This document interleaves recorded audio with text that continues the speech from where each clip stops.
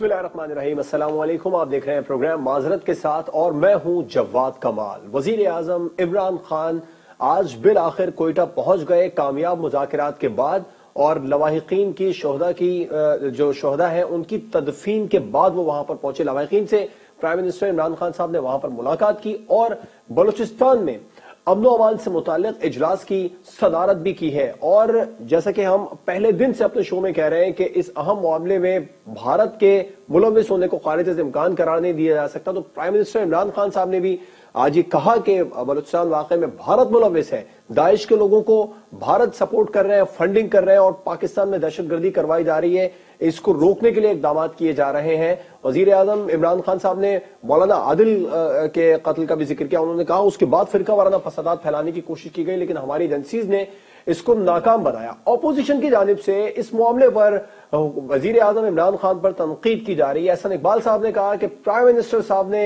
मासूम बच्चे जो है, वहाँ पर लवाकिन थे, उनसे अपनी जिद मनवाई। उसके बाद में वो वहाँ पर गए हैं। उन्होंने न्यूजीलैंड की प्राइम मिनिस्टर का ज़िक्र किया कि वो जब मस्जिद गई थी तो क्या उन्होंने वो किसी की ब्लैकमेलिंग में आकर गई थी, या फिर उनसे, उन्होंने किसी से जिद तो नहीं लगाई थी? मरियम और बिलावल ने हसन इकबाल साहब कह रहे हैं, इन्होंने वहाँ पहुंचकर यह पैगाम दिया था कि लवाहिकीन किसी सूरत तनहा नहीं है। फिर दोस्त आशिक कवान साहब ने भी जवाब दिया अपोजिशन को, उन्होंने कहा प्राइम मिनिस्टर साहब ने बिल्कुल वाज हमत अमली के साथ कोयटा पहुँचे, जो कहा, वो कर दिखाया। इस पर प्रोग्राम में बात होगी। इसके अलावा सेनेट इंतबात के हवाले से हम प्रोग्राम में बात करेंगे। पाकिस्तान मुस्लिम लीग नून की जानब से सिंध में और सिंध से उम्मीदवार पाकिस्तान पीपल्स पार्टी की टक्कर पर न खड़ा करने का फैसला किया गया और ऐसा इकबाल साहब ने कहा कि कोशिश करेंगे कि पीडीएम के प्लेटफॉर्म से एक ही उम्मीदवार हो। ये कोशिश उनकी किस हद तक कामयाब होगी और सेनेट इंतबात के हवाले से ही आज सुप्रीम कोर्ट में पंजाब हुकूमत और खैबर पख्तूनख्वा हुकूमत की जानब से जवाब जमा करवाया गया। एडवोकेट जनरल पंजाब ने ये मौके अपनाया कि अरकान असम्बली अपने जाती मफाद के लिए अपनी पार्टी से दगा करते हैं और पार्टी डिसिप्लिन की खिलाफ वर्जी करते हैं, जिसकी वजह से सेनेट इंतबात में हॉर्स ट्रेडिंग होती है।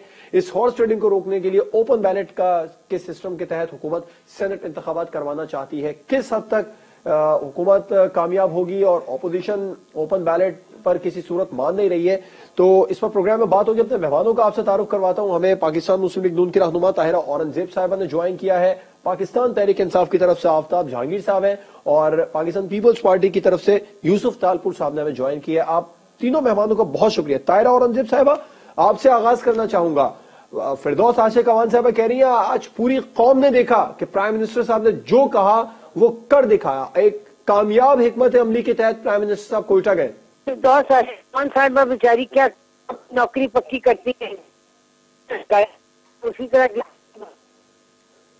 के प्राइम मिनिस्टर साहब यही थे, जिन्होंने कहा था, मैं पाकिस्तान को रियासत मदीना का निज़ाम ला के बताऊँ। तो रियासत मदीना में तो ये था कि खलीफा वक्त कहते थे कि फरात के किनारे अगर एक कुत्ता भी भूख से मर जाए तो उसकी भी मुझसे बात बुरस होगी। तो ये कोयटा में तो इंसानी जाने जाया हुई। और जिस तरह से उन्हें गोलियाँ मारी गई और जिस तरह मेहनत कशों पे तशद हुआ, ये आज की जो सदी है, इसमें बड़ा ही नाकाबले फरामोश वाक्य है। और सबसे बड़ी बात यह है कि इन चीज़ों में अनाज का मसला कुछ नहीं होता। अगर उसी दिन जिस दिन ये है तो प्राइम मिनिस्टर साहब अपने दो कोई आला वज़ीर लेके, जिन जिन मशावरत उनके जहन में समझते हैं कि बेहतर है, लेके चले जाते आठ डिग्री टेम्परेचर पे सड़कों पे न बैठते और यक बस्ता मौसम में न मर्दों को सामने रखते और ना खुद वहाँ सड़कों पे छोटे छोटे बच्चे खातन बूढ़े बुज़ुर्ग लेके बैठते। ये मसला बड़ी खुश असलूबी से हाल और ये सात दिन पहले ये रास्ते मदीना का कानून ये नहीं था कि खलीफा वक्त जो है वो बांसुरी पे जाता रहे। हीरो की तरह।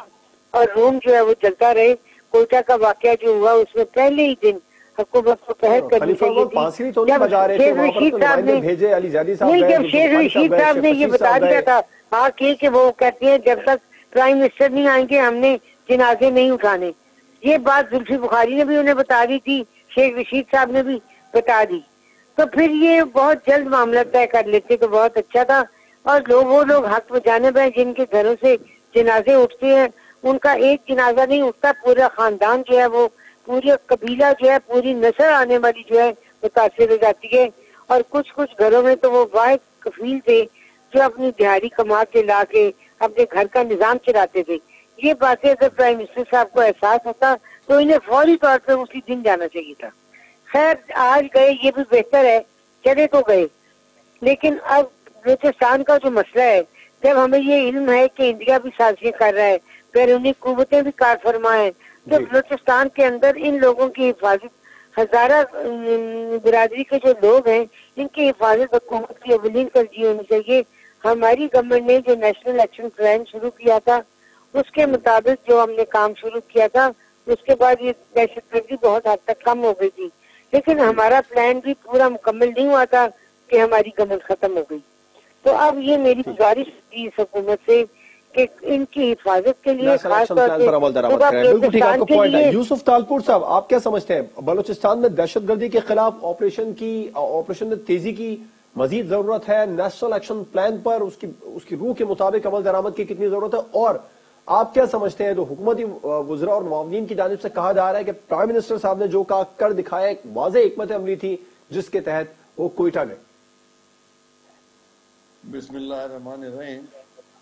ये नहीं है कि वो करके दिखाया तो और हर एक जो उसको बुनियादी है के बुनियाद पर और ग्राउंड्स के ऊपर कि भाई तुम जाओ, वो बैठे हुए हैं, वो उनको छह दिन बैठना क्या पता नहीं किसने उसको बोल दिया था कि भाई तुम जनाजे पे नहीं जाओ तो उसने फैसला कर लिया कि मैं जनाजे पे नहीं जाऊँगा। जबकि वहाँ पर मुझे ब्लैकमेल किया जा रहा था और मैं ब्लैकमेलिंग में नहीं आऊँगा। इसको खुद प्राइम मिनिस्टर साहब ने कहा। मैं आ रहा हूँ उस ब्लैकमेलिंग पे भी जी जी। और उसके उन्होंने ये भी कहा जो आपने जो बात की कि भाई मैं किसी ब्लैकमेलिंग में नहीं आऊँगा। जिसके ऊपर इतनी तनकीद हुई इतनी तनकीद हुई मैंने शायद ज़िंदगी में कभी भी किसी लीडर इतनी तनकी नहीं सुनी। फिर उसने एज यूजल एक यू टर्न लिया कि भाई मैंने जो ये कहा था, वो इनके लिए नहीं कहा था अपोजिशन के लिए कहा था। भाई अपोजिशन ने क्या जाके किया था, वहाँ पर जो आपने अपोजिशन के लिए कहा? अपोजिशन ने तो वहाँ पर जो जो लीडरान गए, उन्होंने यही कहा कि भाई ये बेचारे बैठे हुए हैं, गरीब लोग हैं, इनके तकरीबन इनके ऊपर कोई सोलह सौ हमले हुए हैं, दो हज़ार से ज़्यादा इनके मारे गए और मुख्तलिफ़ दौरों में मारे गए ये नहीं कि सिर्फ़ अभी मारे गए मुख्तलिफ़ दौरों में मारे गए और उसके बाद अब ये बैठे इन्होंने एक ये बात की है तो तुम आके इनके सर पे हाथ रखो। वो इतना संग दिल था कि उसने नहीं, उसने अपनी बात मनाई तो बेचारे गरीब लोग थे, वो उन्होंने उनकी बात मानी। मानने के बाद वो गए। तो मैं समझता हूँ कि मानने के बाद जो गए तो एक किस्म की उनकी दिल में ये खराश हमेशा के लिए जारी रहेगी और रहेगी कि भाई इस किस्म से इनको नहीं करना चाहिए था, जिस तरह से इन्होंने ये सारा कुछ अमल किया। इनको चाहिए था कि ये पहले दिन पहुँचते, नहीं तो दूसरे दिन पहुँचते। नहीं तो जब पूरे वो कह रहे थे और पूरा मुल्क पैरालाइज हो रहा था, उसने इसका भी फ़िक्र नहीं किया कि पूरा मुल्क तकरीबन पैरालाइज हो चुका था। हर जगह रास्ते बंद थे। उसका भी ख्याल नहीं था, लेकिन उसकी अपनी जिद थी, अपनी अना थी। एक अना प्रस्तार आदमी है, अपनी अना मनवाने के लिए। उसने फिर आखिर वो अना मनवाई उनको कहा वो बेचारे गरीब हो गए उन्होंने जनाजे रख दिए उसके बाद गए। ने ये भी कहा था कि मेरी कुछ जिद नहीं है आना नहीं है लेकिन दुनिया में ऐसा कहीं नहीं होता कि वाकत पेश आए तो प्राइम मिनिस्टर साहब से मुतालबा किया जाए कि वो आएँगे तभी मामला आगे बढ़ेंगे। मेरे ख्याल में दुनिया में कहीं भी ऐसा नहीं होता कि किसी एक कबीले के लोग हज़ारों में लोग इस तरह से उनकी जाने जाएँ सोलह सौ उनके ऊपर हमले हों। इस तरह दुनिया में कहीं नहीं होता जो यहाँ बिल्कुल। कोयटा में हुआ। आफ्ताब जहांगीर साहब से इसका जवाब। आफ्ताब जहांगीर साहब यूसुफ तालपुर साहब भी कह रहे हैं प्राइम मिनिस्टर साहब ने जैसे कहा कि दुनिया में ऐसा कहीं नहीं होता कि प्राइम मिनिस्टर साहब ब्लैकमेल हो लेकिन दुनिया में ऐसा भी कहीं नहीं होता कि कम्युनिटी के इतने लोगों पर इतने ज़्यादा हमले किए जाएँ और फिर वो मुतालबा करें कि हमारी दादरसी प्राइम मिनिस्टर साहब आकर कर दें। तो प्राइम मिनिस्टर साहब ना जाए अपनी जिद पर कायम रहे। ये ऑपोजिशन का मौके सामने आ रहा है।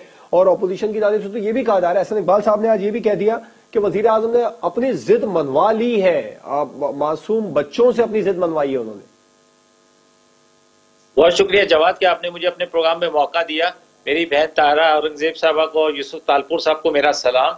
और आप इतने खूबसूरत पैनल बिठा देते हैं ना हम लड़ सकते हैं ना कोई आर्ग्यूमेंट्स कर सकते हैं। इनसे ये तो दोस्त है हमारे और मेरी बहन बहन है वो। आर्ग्यूमेंट तो कर सकते बात ये है का मेरे यूसुफ तालपुर साहब ने भी कहा यूसुफ तालपुर साहब ने भी कहा मेरी बहन ने भी कहा।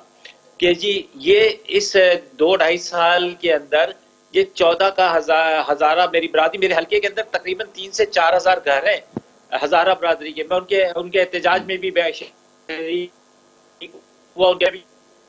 तो ये दो दो ढाई साल के अंदर ये हुआ, लेकिन इनकी तादाद कितनी अभी सोलह सौ उन्होंने खुद कहा कि हमले हुए, और हज़ारों के तादाद में इनके लोग शहीद किए गए। तो वो क्या हमने किए थे और उस दौर में इन्होंने क्यों नहीं ऐसे कोई इकदाम किए कि ये वाकयात आइंदा नहीं होते? इस बात को लेकर देखें मैं ये सम इकदाम तो आपकी हुकूमत ने भी नहीं किया। आफ्ताब साहब इमरान खान साहब बहसियत अपोजिशन तो- रहनुमा वहाँ पहुँचते रहे जब ऐसे वाकयात होते थे और ये कहते थे कि हुकूमतों की ज़िम्मेदारी है वो इकदाम करें लेकिन इकदाम तो पीटीआई हुकूमत में भी नहीं किएगा ये वाकयात तो हो रहे हैं। की जो वहाँ की लीडरशिप थी अरे भाई मैं आपको जो बताना चाह रहा हूँ कि देखिए मसला क्या था? मसला ये है कि इसको एक दूसरा रंग दिया जा रहा था। अगर मौलाना फजलुर रहमान साहब जाते या कोई और जाता तो इसका रंग दूसरा होता। है इसको रंग दिया गया है एक मसलक तो मसला की एहसन इकबाल साहब ने आज कहा कि मसला की मसला तो हुकूमत ने बनाया। आफ्ताब साहब ऐड कीजिए प्लीज़। आज ऐसा इकबाल साहब ने कहा है कि इसको नहीं, नहीं, मसला की मसला हुकूमत ने बनाया। अली जैदी को भेजकर जुल्फी बुखारी साहब को भेजकर। सिर्फ़ एक ही मसलक के गुजरा को भेजा गया।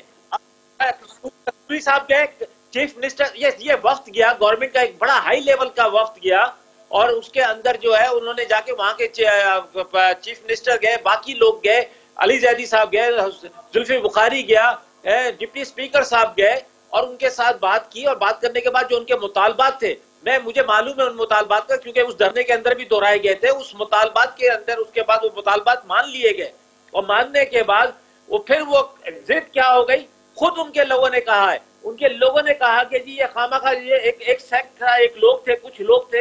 हालाँकि हम तो तदफीन करना चाह रहे थे लेकिन उन्होंने इसको धरने का रंग दे दिया और उसके बाद उसको इस तरफ़ ले गए कि शर्तें तो मान ताकि इसको लंबा किया जाए। आपका पॉइंट उसका साहब ब्रेक पर जाएँगे। मैं आपको ये इसलिए बात करूँ जवाब साहब कि आप आप-। देखती है सुनती है। हमारी तो हम तो कर लेंगे जो बात ठीक है, मुझे अब ब्रेक पर जाना ब्रेक के बाद हम बात करेंगे। एक तो ये कि आइंदा इस तरह के वाकत न पेश आए बलूचिस्तान में। हिकमत अमली क्या हुकूमत को अपनानी चाहिए? आज प्राइम मिनिस्टर साहब ने अमन अमान से मुतालिक इजलास की सदारत भी की और सेनेट इंतबात के हवाले से बात होगी। ये ओपन बैलेट के ज़रिए होंगे शो ऑफ़ हैंड्स के ज़रिए होंगे या फिर जिस तरीके से रिवायती तरीकाकार सेनेट इंतबात का है, उस तरीके से होंगे। पाकिस्तान मुस्लिम लीग नून जो चाह रही है पीडीएम उस तरीके से सेनेट इंतबात में जाएगी। ब्रेक के बाद पर बात होगी।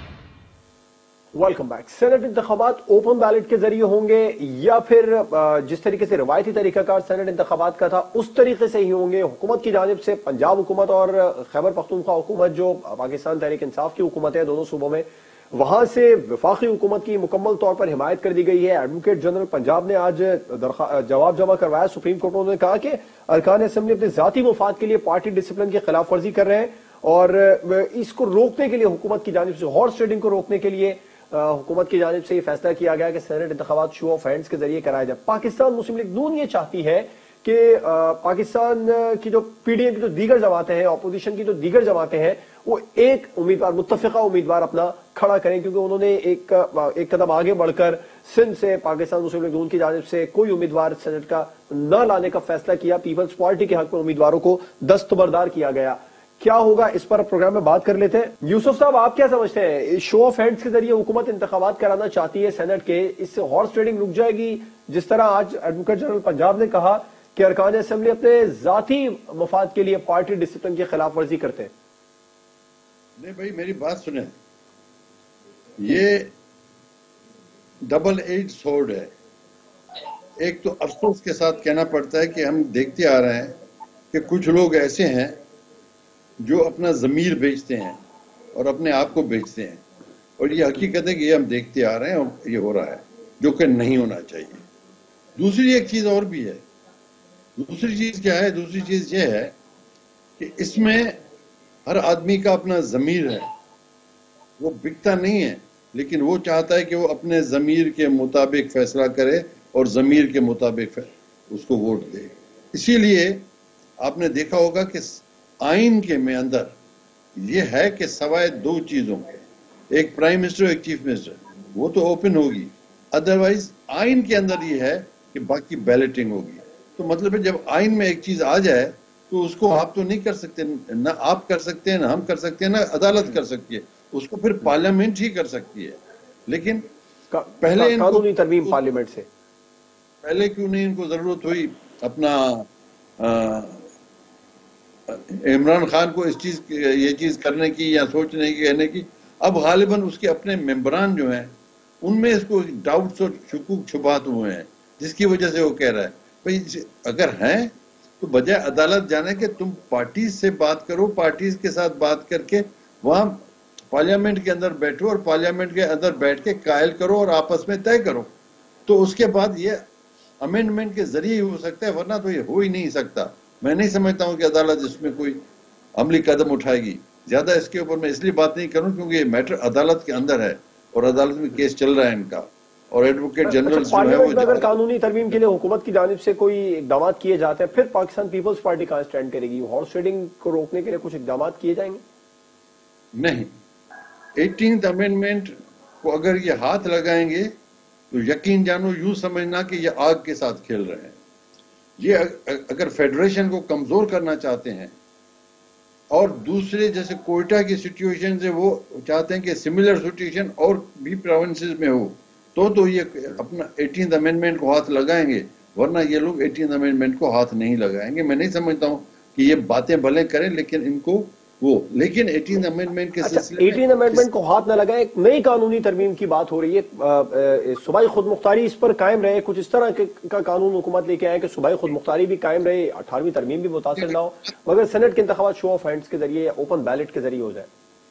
कोई भी अगर बात करनी है इनको तो वो पार्लियामेंट के अंदर पोलिटिकल पार्टी से बात करें नहीं पीपुल्स पार्टी की लीडरशिप से बात करें पीएमएल की लीडरशिप से बात करें और जितनी जमातें पीडीएम वगैरह, जो सारा एक इलाके उनसे बात हमारा प्राइम मिनिस्टर साहब तो मोजरत के साथ अर्ज़ करूँगा। आफ्ताब जहांगीर साहब बैठे हुए हैं क्या कहूँ? वो तो अपोजिशन लीडर से हाथ मिलाने के लिए तैयार नहीं है। वो अगर देखते हैं अपोजिशन लीडर को बैठा हुआ कुर्सी के ऊपर तो रास्ता भी बदल कर आते हैं। तो अब जब इस किस्म की सिचुएशन होगी, इस किस्म की सूरत हाल होगी तो उसमें यकीनन एक आदमी क्या कर सकता है? ये एक आईनी चीज़ है मैं उसी चीज़ के ऊपर आ रहा हूँ। ये आईनी तरह से हो सकता किसी तरह से नहीं हो सकती। पीएमएलएन कहाँ पर स्टैंड कर रही है इस पर? तायरा औरंगज़ेब साहिबा से इसका मौके देते हैं। तायरा साहिबा हॉर्स ट्रेडिंग रोकने के लिए हुकूमत ये कह रही है कि हम ओपन बैलेट के ज़रिए इंतबात करवाना चाहते हैं सेनेट के। और आज जो एडवोकेट जनरल पंजाब ने सुप्रीम कोर्ट में अपना मौकफ अपनाया कि जाती मफाद के लिए पार्टी डिसिप्लिन के अरकान खिलाफ वर्जी करना चाहते हैं इस सिलसिले को हम रोकना चाहते हैं। सेनेट इंतबात ओपन बैलेट के ज़रिए करवाने के लिए हुकूमत की जानब से। क्या ये इस तरीके से हो जाएँगे बगैर कानूनी तरमीम किए? भाई, सबसे पहली बात तो ये है कि प्राइम मिनिस्टर खुद इस बात का इतराफ करते हैं कि हमें पूरी सूझबूझ नहीं थी और हमने हुकूमत ले ली। बात ये है कि जो एक आईनी तरीका है आइन बताता है पाकिस्तान के कॉन्स्टिट्यूशन में जब एक तरीका कार बताया गया सैनिक के इलेक्शन का।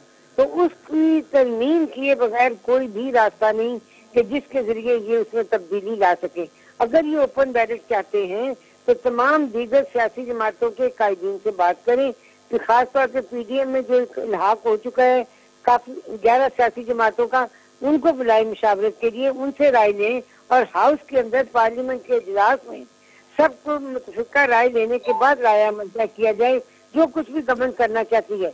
गवर्नमेंट ऐसे नहीं कुछ भी कर सकती कि अदालत कर दे या कुछ अदालत भी इंटरवीन करेगी। क्योंकि ये पाकिस्तान का कॉन्स्टिट्यूशन है जो बताता है सैनिक का इलेक्शन किस तरीके से होगा।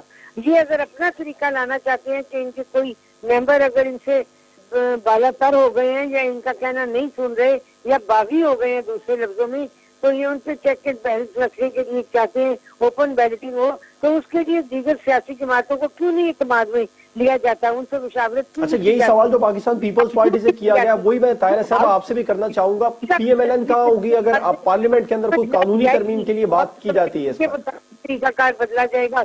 ये खुद से कुछ नहीं कर सकते ये सिर्फ़ जबानी जमा खर्च करेंगे।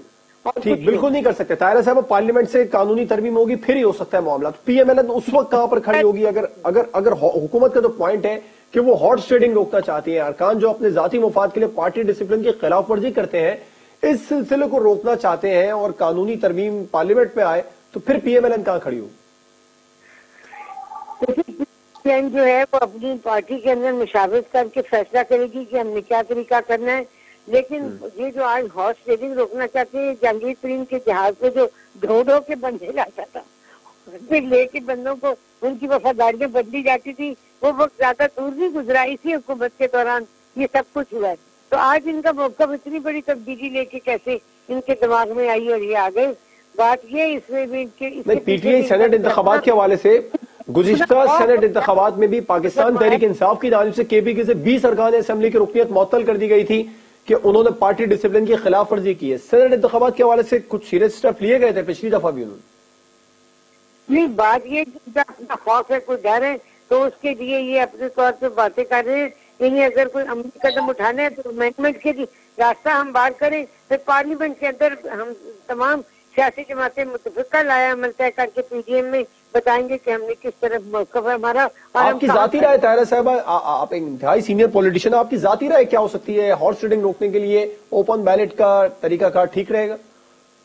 देखिए जो लोग पार्टी के वफादार होते हैं जो अपने मौकफ पे कायम होते हैं वो ओपन बैलेटिंग हो या सीक्रेट बैलेटिंग हो वो पार्टी से बाहर जाते ही नहीं। वो उस डिसिप्लिन की खिलाफ वर्जी नहीं करते। वो कभी उनको उनको एक तराजू में तोड़ के रख लेना तमाम दौलत के साथ वो अपना वोट नहीं बेचते। लेकिन ये अगर इनको ख्याल है कि हॉर्स का रास्ता इस तरह रोका जा सकता है तो ये हमें मुशावरत के लिए बुलाएँ फिर हम भी इकट्ठे बैठ के तमाम सियासी बिल्कुल ठीक है। आप साहब जहांगीर साहब मुशावरत नहीं करते आप लोग अपोजिशन से मिलते नहीं है बात नहीं करते उनके साथ बैठेंगे तो कानूनी मामला हल होंगे ना। सेनेट इंतबात अगर हुकूमत शो ऑफ़ हैंड्स के ज़रिए या ओपन बैलेट के ज़रिए कराना चाहती है तो अपोजिशन से मिलते क्यों नहीं? इनके साथ बैठे इनको मनाए कानूनी तरमीम करवाएँ और करवा लें। सुप्रीम कोर्ट आप लोग गए वहाँ से अगर ये फैसला आता है कि आप लोग पार्लियामेंट जाए तो फिर हुकूमत कहाँ खड़ी है? मैंने कोई असेंबली ऐसी नहीं देखी जिसमें अपोजिशन लीडर या अपोजिशन अच्छा जवाब पहली बात तो ये कि आप सवाल करते हैं आपको जवाब दिया और ना ही तारा ने आपको जवाब दिया था अच्छा देखिए मसला क्या है मसला ये है कि आप पहले बात को थोड़ा कर दूँ कि जब आपने कहा था कि मैंने कहा कि ये मसला जंग करने कराची के अंदर ये हालात पैदा हो रहे थे कि जब एहतजाज हो रहा था तो लोगों ने एक दूसरे को मारना शुरू कर दिया था मोटरसाइकिलें जलाई गई और इशारा फैसल के ऊपर कहा कि ये एहतजाज अगर आपने करना है तो आप कोयटा में जाके करें। तो ये सूरत बड़ी खराब होती जा रही थी। इसलिए बेहतर फैसला हो गया कि अब ये हो गया है और ताकि आइंदा लोगों को ये हो कि वो ब्लैकमेलिंग सिचुएशन में ना जाए बल्कि अपने बातचीत के ज़रिए अपने मुतालबात को मनवाए और ये हर एक का हक है कि वो सिक्योरिटी उसको दी जाए और जिस बरादरी के साथ या जिस सेक्ट के साथ ज़्यादा होता है उनको ज़्यादा सिक्योरिटी देनी चाहिए और ठीक है आपका पॉइंट आ गया।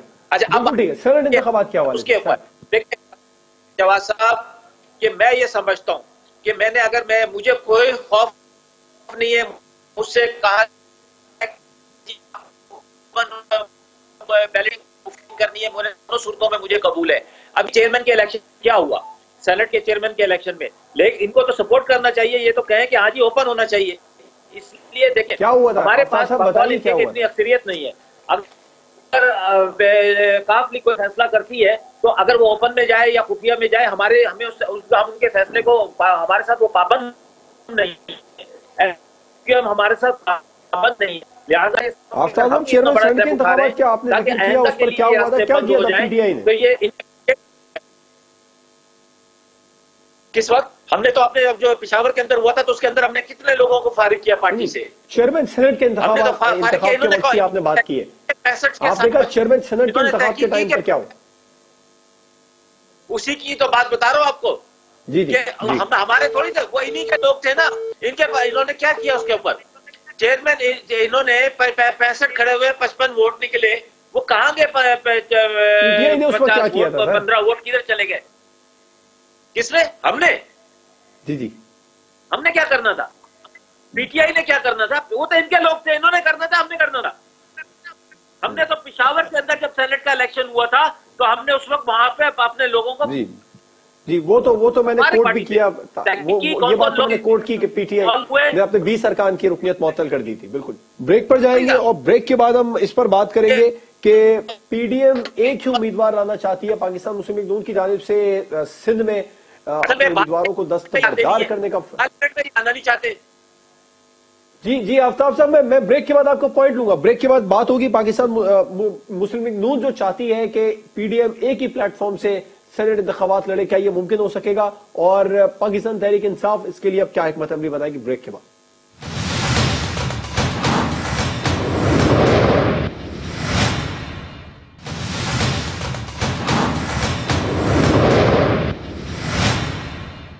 वेलकम बैक अरकान असेंबली अपनी पार्टी से पार्टी की डिसिप्लिन की खिलाफ वर्जी कर जाते हैं। इस पर हमने बात कर ली है। अब पीडीएम के हवाले से बात कर लेते हैं कि पीडीएम एक प्लेटफॉर्म से सेनेट इंतबात में आएगी या नहीं आएगी? पाकिस्तान पीपल्स पार्टी का क्या जवाब होगा? क्या क्या पंजाब से पाकिस्तान पीपल्स पार्टी फैसला करेगी कि वो भी पीएमएलएन के हक में अपने उम्मीदवार दस्तबरदार करेगी या नहीं करे? इस पर बात हुई। पर आफ्ताब साहब, आपका एक तो आप जवाब देना चाह रहे थे, ये सेनेट इंतबात के हवाले से शो ऑफ़ हैंड के हवाले से। दूसरा ये भी सवाल ऐड कर लीजिए कि अगर पीडीएम के, की तमाम जमातें एक प्लेटफॉर्म से सेनेट इलेक्शन लड़ने जाती हैं तो फिर विफाकी हुकूमत किस तरह तैयारी करेगी? क्या इकदाम किए जाएँगे? देखिए, जवाब, वो तो मैंने आपको कहा कि मैं तो शो ऑफ़ हैंड होना चाहिए। पीडीएम का सवाल है, आप ये ने क्या अकलमंदी दिखा रही है? क्योंकि उसको पता है कि सिंध के अंदर उसके पास कोई नुमाइंदगी नहीं है। तो और ना ही मौलाना फजल रहमान के पास है। ना ही अख्तर मैंगल के पास है, ना किसी और पार्टी के पास है, ना एएनपी के पास है। तो वहाँ पे कह रहे हैं कि हम पीटीआई पीपल्स पार्टी के सामने कोई कैंडिडेट उनके अपने सामने नहीं लाएँगे। तो लिहाजा गेम सारा जो होगा, वो करना चाह रहे हैं वहाँ पर पंजाब के अंदर।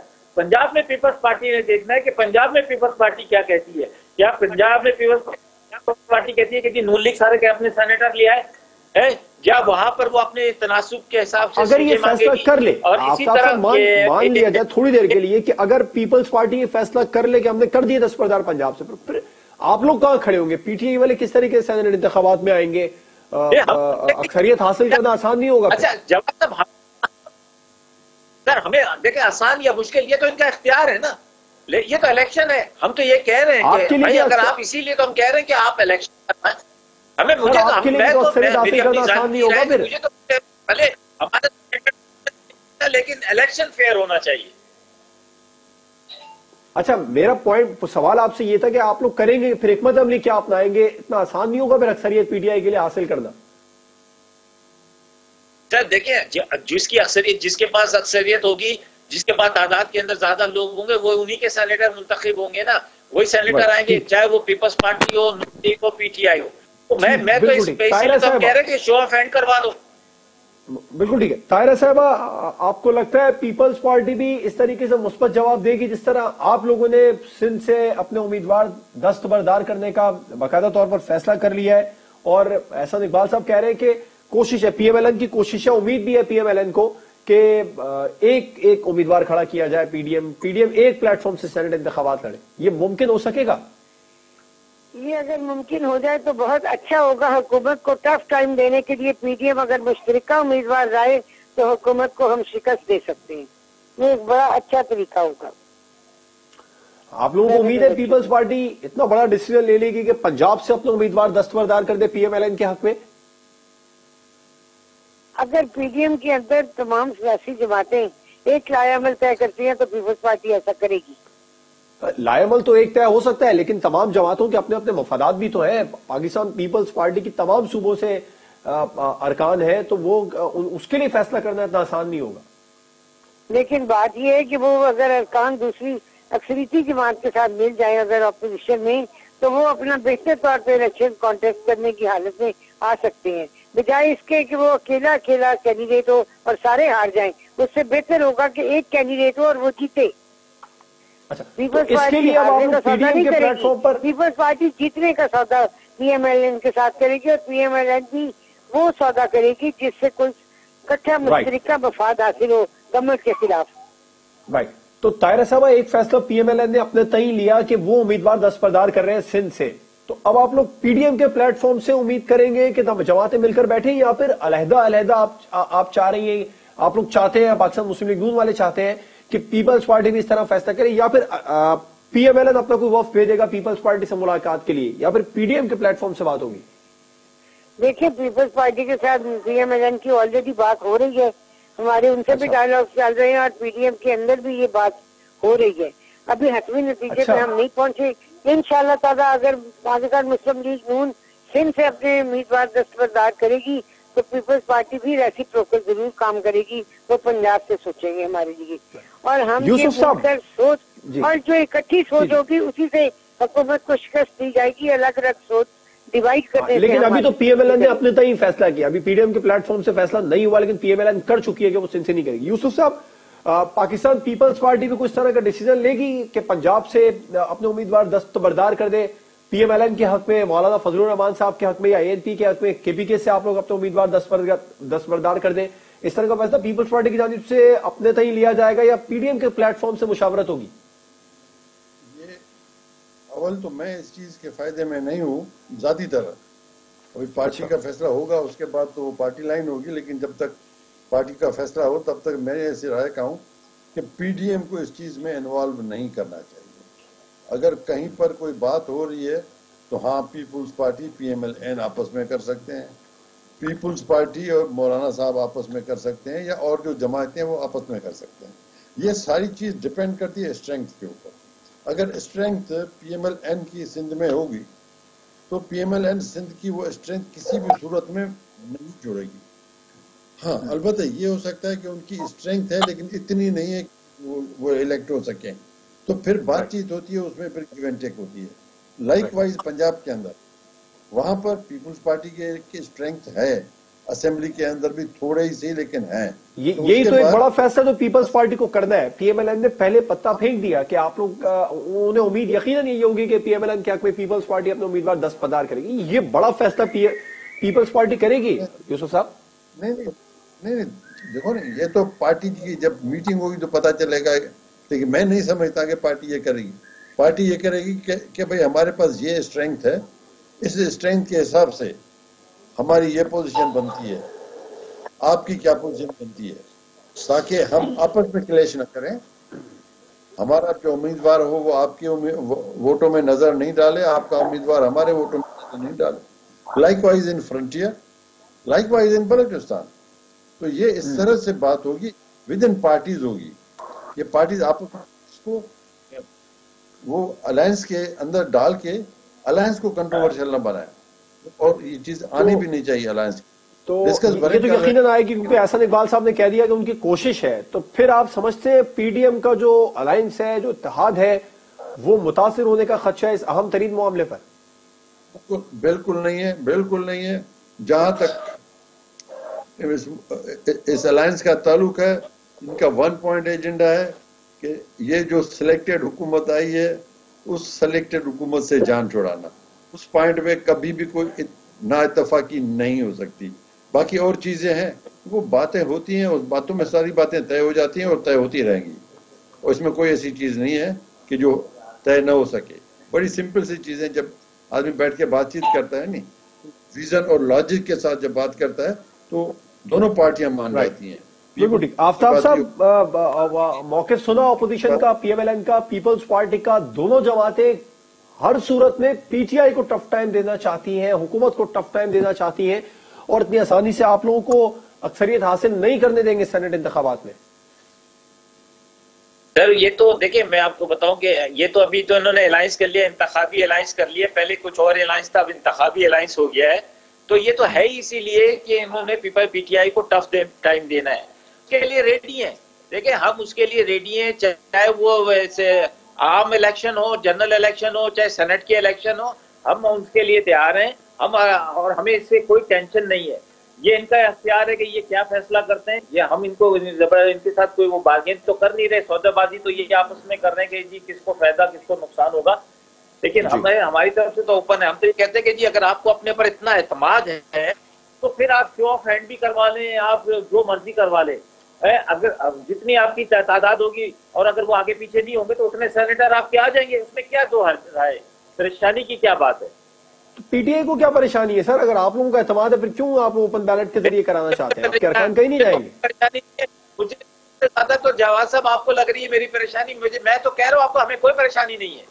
हम्म, लेकिन आप कह रहे थे ऑपोजिशन को कोई परेशानी नहीं है वो वो अपना उम्मीदवार ओपन बैलेट के ज़रिए कर रहे हो तो हुकूमत को भी अगर कोई परेशानी नहीं है तो फिर ओपन बैलेट से ना करवाएँ। परेशानी नहीं है। परेशानी नहीं है। मैं तो ये कह रहा हूँ हमें कोई परेशानी नहीं है।